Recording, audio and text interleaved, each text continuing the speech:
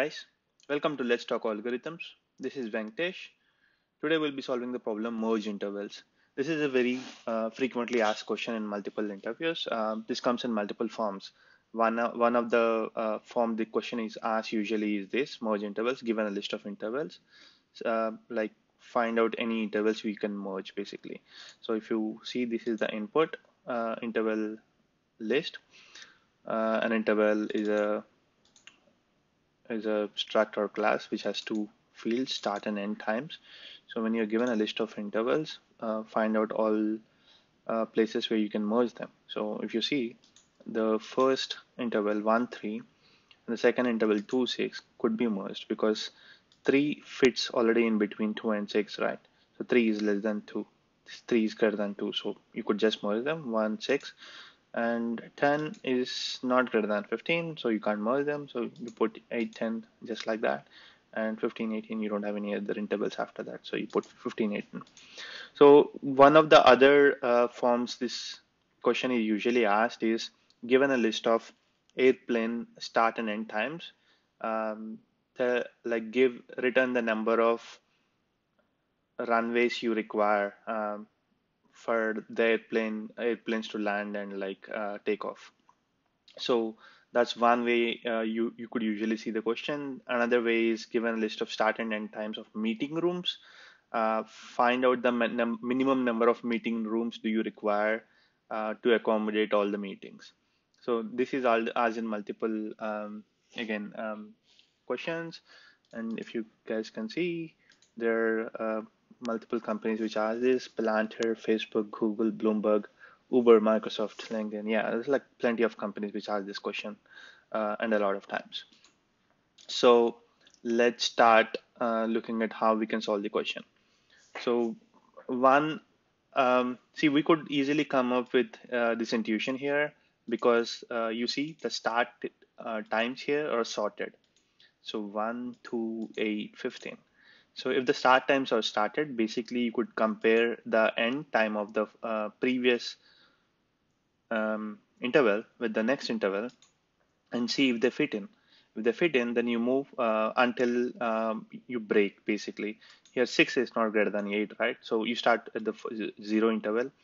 Um, you check if, if your current interval's end time is greater than the next interval's start time. So if it is greater than, then you uh, continue um, and then here again you check if, if your current intervals end time which is 6 greater than 8 it's not.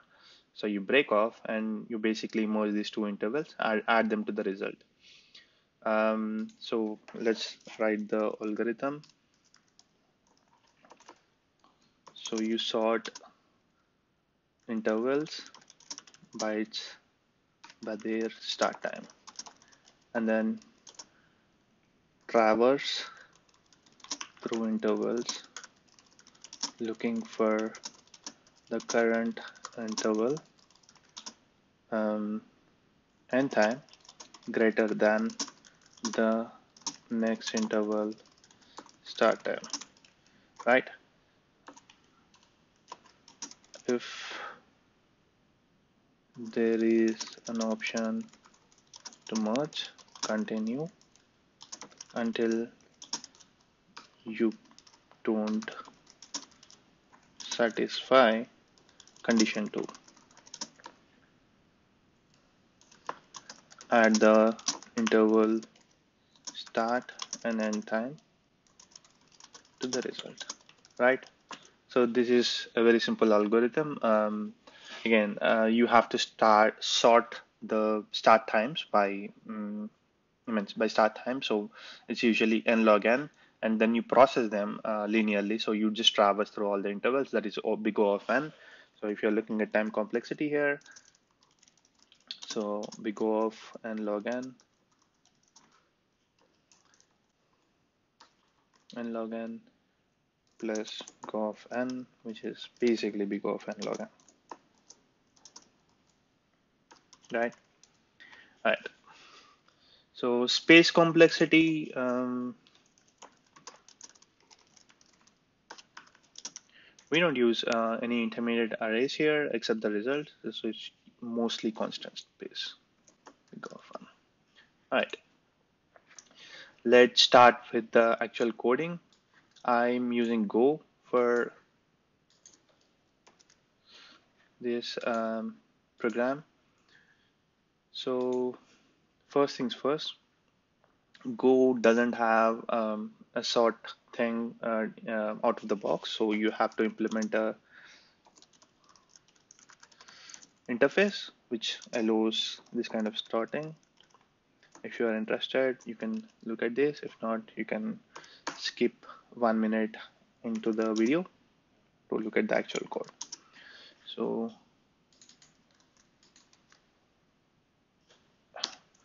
so interval start sort. So you have to implement three associated functions for um, supporting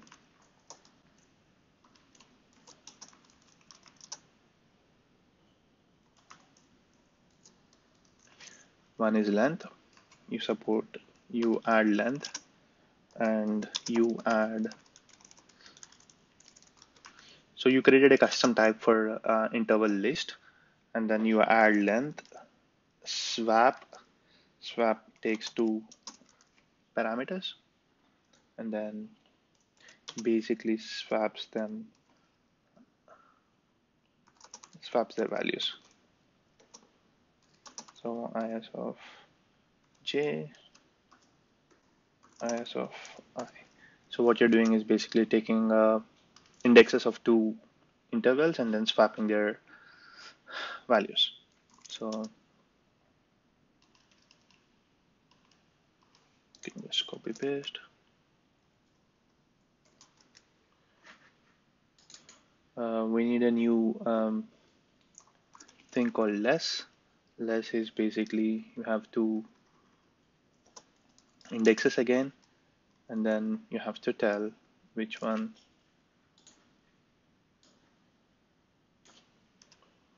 you have to tell which one is has a lower start so if i of the interval at i has lesser start time or not. Date start. Okay, so this gives us a basically a sort interface. Now let's check for uh, corner cases, basically empty intervals. If interval length is zero, you basically return intervals, right? You don't have to do all the processing. Now you sort sort the intervals by start time. How do you do that? You use an internal um, sort function, but you could use the new thing we created. So just pass uh, user interface, pass the intervals. So once you have sorted them um, and you already check for um, empty interval array. So what you'll do is let's start by um, saving the first intervals start and end times. So why are we doing this? So basically this is how you keep track of the current start and end um, interval times to add to the result. So let's make a result um, array it's basically an array of intervals right so you make a slice of zero so go has something called slices basically arrays with zero length or basically array list so now uh, you iterate over the intervals so what you're gonna do is check if interval dot start le less than or equal to n. If it is, then assign end. Um, you know what? We just need one. Um, so Go apparently doesn't have the integer max uh, method. The math dot max only allows floating points. So let's make a small custom method.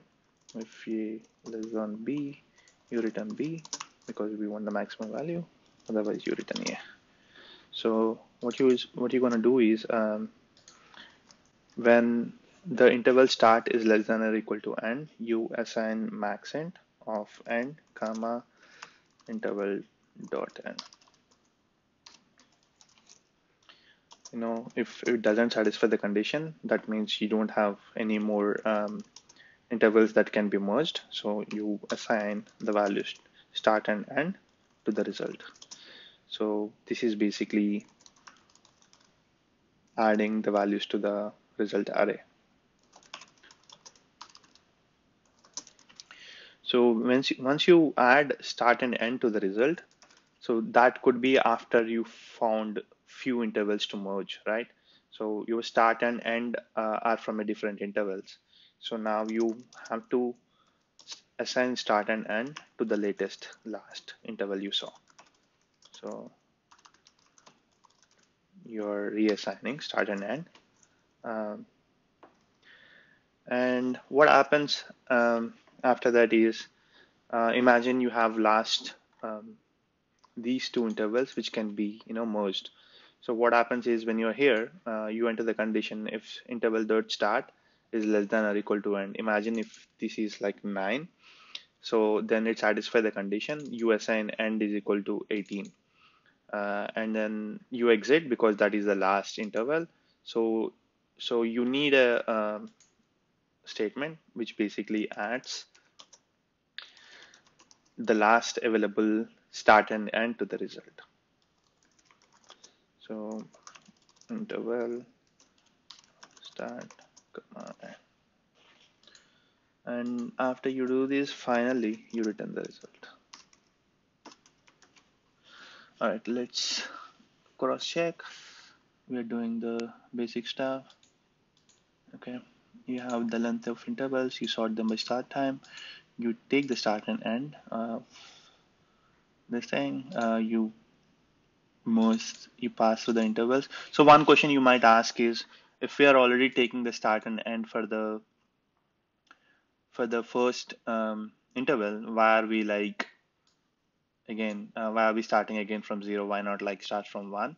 Um, the the answer is uh, basically if if you have um, I mean when you do this basically um, like the first start and end won't, end won't be the same thing, right? Even if they are, uh, you still assign the end value um, to the to the current interval end value to the end value. So uh, it doesn't matter. Uh, you could start from in index one and that won't affect this program.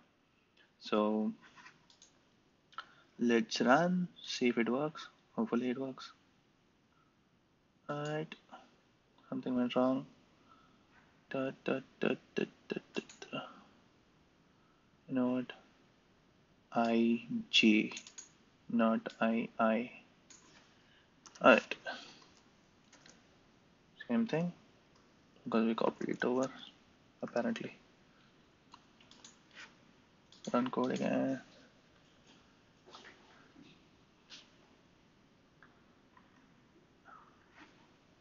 Uh, output 1, 6, 8, 10, 15, 18.